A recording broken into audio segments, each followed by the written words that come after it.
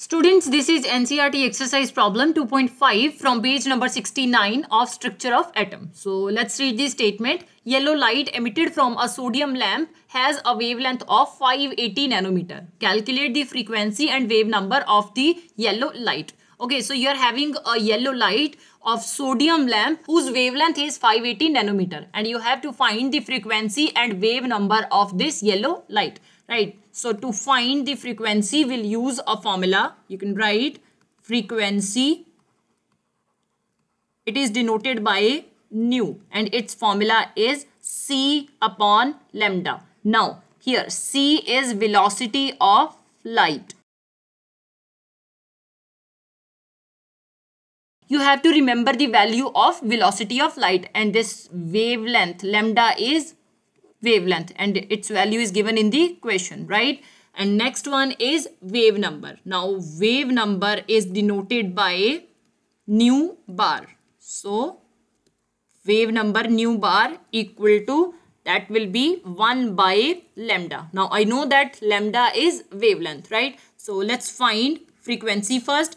In this we have lambda. So lambda is 580 nano meter right? And next is velocity of light. That is 3 into 10 raised to power 8 meter per second. You have to remember this value. If you see we are having velocity of light in meter but this wavelength is in nanometer. So what i'll do i'll simply convert this wavelength into meter. So i know that 1 nanometer is equal to 10 raised to power minus 9 meter. In bracket you can write over here 1 nanometer equal to 10 raised to power minus 9 meter. I simply put the value of nanometer over here, right? So, next one is C, that is velocity of light. Let's put the values in the formula. So, formula is nu frequency equal to C by lambda. Now, C is 3 into 10 raised to power 8 meter per second divided by lambda is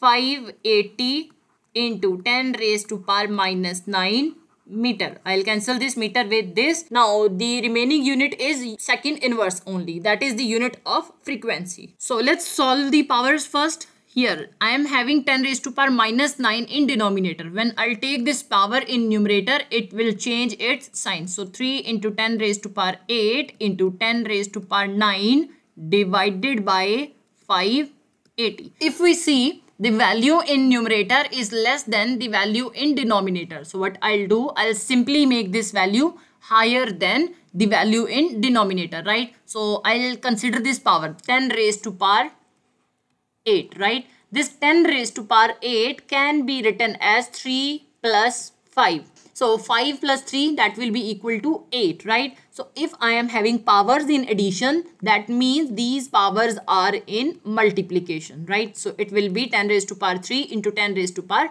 5.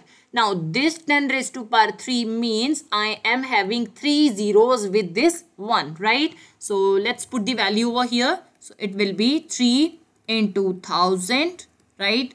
Into 10 raised to power 5 into 10 raised to power 9 divided by 580 right? So it will have second inverse with it. So i'll cancel this 0 with this 3 into 100 300 right? These two powers are in multiplication so you can simply add them. 10 raised to power 5 plus 9 divided by 58 units second inverse. Now 300 divided by 58 your answer will be 5.17 into 10 raised to power 5 plus 9 14 second inverse. Now this second inverse is also known as hertz. So 1 hertz I can write over here it is equal to the 1 second inverse right. So put the value 5.17 into 10 raised to power 14 hertz is the frequency of yellow light, right? Now let's find the value of wave number. Now in this question, wave number is denoted by nu bar and it is considered as inverse of wavelength, right? Inverse of wavelength means 1 by lambda. So value of lambda is 580 into 10 raised to power minus 9 meter, right? 10 raised to power minus 9 when I'll take this value in numerator it will be 10 raised to power 9 divided by 580 and units I'll have definitely meter inverse because I am taking this meter in numerator. So it will change its sign right?